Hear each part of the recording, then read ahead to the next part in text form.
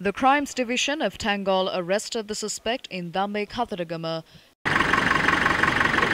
Two tusks that are 3 feet and 2 inches in length were seized from the possession of the suspects.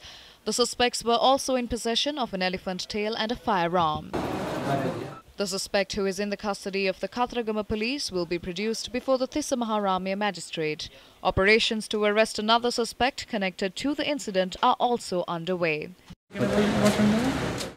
The body of an elephant suspect to have been shot dead was found recently in Block 3 of the Yala Sanctuary. The elephant was decapitated and its tusks were stolen along with a portion of its tail.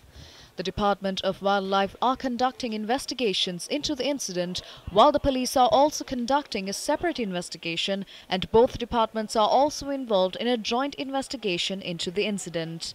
A person suspected to be the owner of the gun used to shoot the elephant was arrested and released yesterday after a statement was recorded from the suspect.